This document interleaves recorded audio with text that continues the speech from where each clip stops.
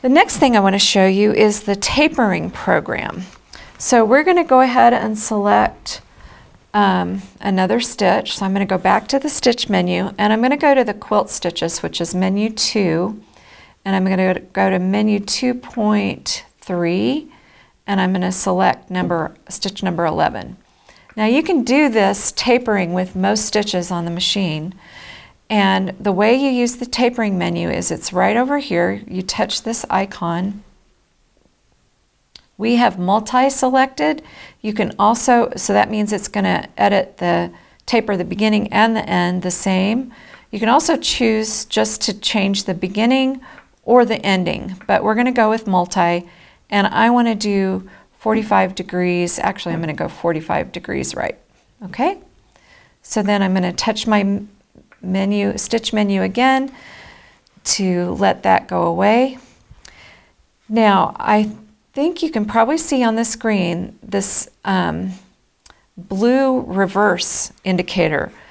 So what you want to do is you can go ahead and stitch, and when you're ready to uh, activate the ending of the taper down here, you press the reverse button. That's how you um, tell the machine when you want the taper to start.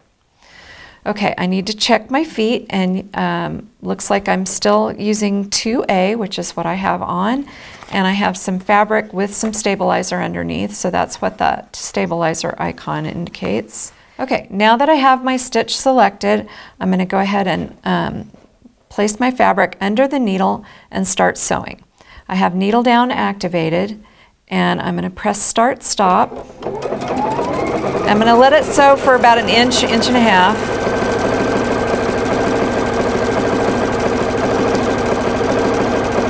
And when I'm ready to start the taper, I just press the reverse button here and the machine will start the taper for me. Okay, then because I have needle down activated, it stops with the needle down and slightly lifts that foot for me. And then I can turn my fabric and start sewing the next side of my box if I want to make a box.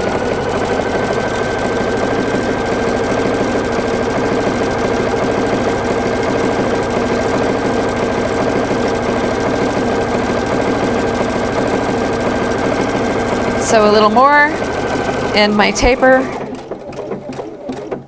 And then I can just keep going as much as I want around the box. Okay, so those are the taperings. That's the tapering menu.